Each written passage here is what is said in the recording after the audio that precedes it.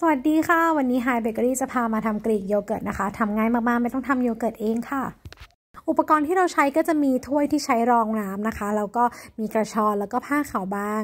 เราจะปูผ้าขาวบางลงไปบนกระชอนแบบนี้นะคะ จากนั้นเราก็เทโยเกิร์ตลงไปเลยค่ะ โยเกิร์ตเนี่ยซื้อมาจากแมคโครนะคะ อันนี้เราไม่ต้องทำเอง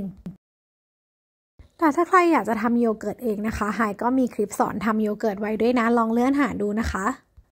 ใส่โยเกิร์ตลงไปตามปริมาณที่เราต้องการนะคะ เวลาที่ทำเป็นกรีกโยเกิร์ตออกมาแล้วเนี่ย ตัวปริมาณของโยเกิร์ตอะเขาจะลดลงนะ จากนั้นนะคะเราก็พันปากให้เรียบร้อย แล้วก็หาอะไรหนักๆมาทับไว้ จากนั้นก็เอาไปเข้าตู้เย็นได้เลยค่ะ เดี๋ยวพอน้ำที่เป็นเวไหลออกมาจากโยเกิร์ตนะคะ ตัวโยเกิร์ตของเราเขาก็จะมีความข้นขึ้นค่ะ อันนี้ก็คือผ่านไปแล้วหนึ่งคืนนะคะ แกะออกมาดูก็จะสังเกตว่าเนื้อของโยเกิร์ตเนี่ยเขามีความข้นแล้วนะ แต่ว่าแค่นี้ก็คือยังไม่พอนะคะ เดี๋ยวเราจะเอาเก็บใส่ตู้เย็นไว้อีกสักคืนนึงค่ะ แล้วเดี๋ยวเรามาดูกัน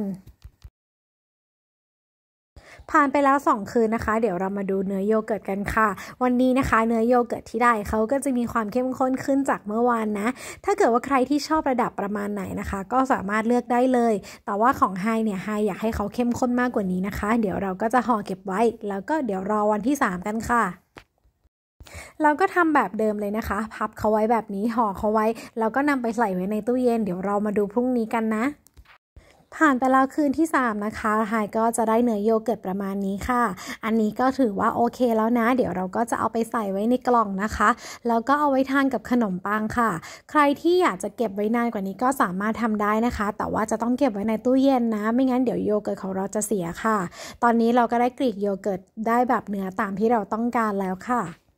เนื้อโยเกิร์ตที่ได้มาก็จะมีความคล้ายๆครีมชีสนะคะ แต่ว่าเขาจะมีรสของโยเกิร์ตนะ แล้วเขาก็จะหวานน้อยลงกว่าตอนที่เขาเป็นโยเกิร์ตด้วยค่ะ เวลาทานนะสามารถใช้สกู๊ปตักไอติมตักแบบนี้ได้เลย จะทานกับผลไม้สดราดน้ำผึ้งหรือว่าราดแยมอะไรแบบนี้ก็ได้นะคะ อร่อยมากๆวิธีนี้ก็เป็นวิธีง่ายๆ ที่เราไม่ต้องทำโยเกิร์ตเองนะคะ ถ้าชอบคลิปแบบนี้อย่าลืมกดไลค์ กดแชร์ แล้วก็คอมเมนต์บอกกันหน่อยนะ บันทึกไว้เป็นรายการโปรดได้นะคะ จะได้เอาไว้ทำทานที่บ้าน ไฮเบเกอรี่ยังมีสูตรขนมฟรีแจกอยู่เรื่อยๆนะคะ อย่าลืมกดติดตามเป็นเพื่อนกันนะ แล้วเจอกันใหม่คลิปหน้าค่ะ บ๊ายบาย